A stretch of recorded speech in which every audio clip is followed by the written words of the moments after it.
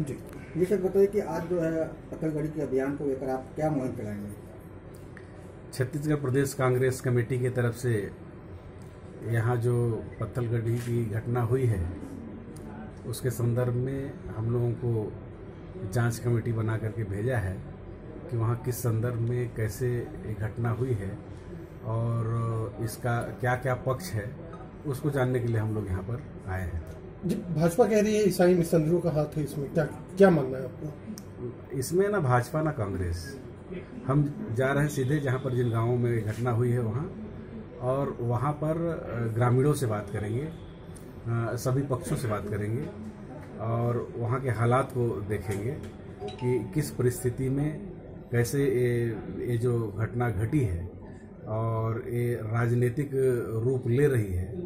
इसको लोग कई तरह से पेश करने का कोशिश कर रहे हैं। इसकी वास्तविकता को हम लोग जानने के लिए जा रहे हैं। क्या मानते हैं दोषी कौन है इसमें?